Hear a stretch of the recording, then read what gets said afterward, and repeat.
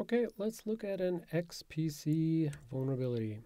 So the background here is that in macOS and iOS, there's a thing called XPC, which stands for macOS X, macOS 10, macOS X interprocess communication, and it's used to send information between different processes. And it's basically a serialization mechanism for type length value, TLV type data, and that encodes things like dictionaries, arrays, integers, and other data types. So you can have types encode like an array of other types. So this type would be an array, the length would be the total length, and then the array would be of things. And those things could be integers, those things could be subarrays, and so forth. So it's just a serialization and an encoding scheme to send information between processes. So there's a particular daemon called CVM server, and that stands for Core Virtual Machine Server, although virtual machine in this context is not like VMware style virtual machine, but instead virtual machines like Java virtual machines, things where you're translating languages.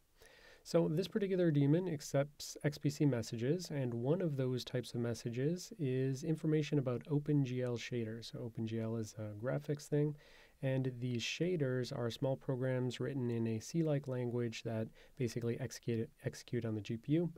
And so CVMS server is responsible for taking these shaders, translating them into native code that can then run on the processor and have this thing you know, run on the GPU. And so it shares that memory back to the original client in a executable shared memory region.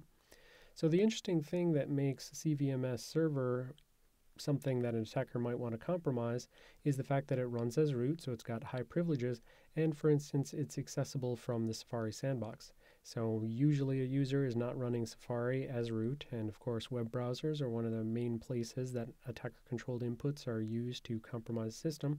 So if you break into Safari, then all of a sudden you can run code that can talk to CVMS server, and if you successfully exploit that, now you've escalated from Safari to root.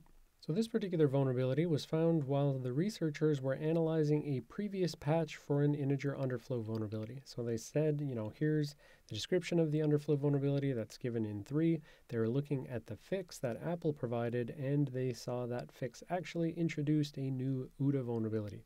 So what I want you to do is use your knowledge from Vulnerabilities 1001 of integer overflows, underflows, and let's look for some acid math that's going to lead to an acid bath of integer underflow.